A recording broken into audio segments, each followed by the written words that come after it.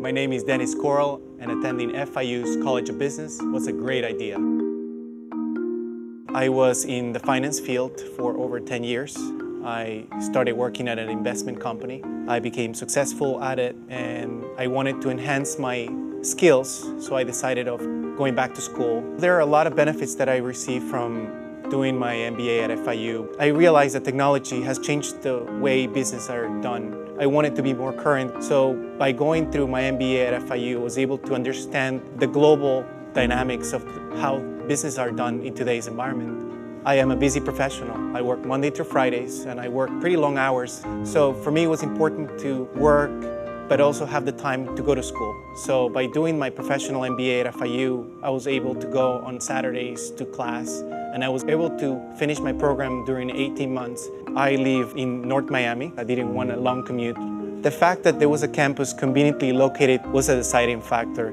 One of the other experiences that I learned was how to work with teams and groups with diverse backgrounds. I had different opinions from classmates from Nigeria or classmates from Thailand that view solutions to issues completely different than the way I saw things. A lot of the friendships that I built in that program are friendships that I'm going to have with me for the rest of my life.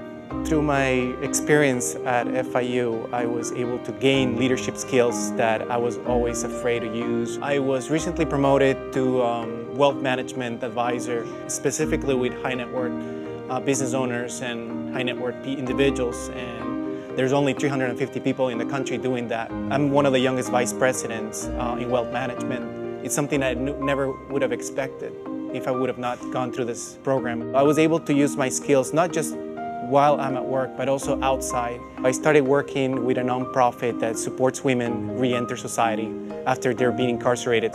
Even though a nonprofit it's designed to be a nonprofit, it still needs to be operated as a business.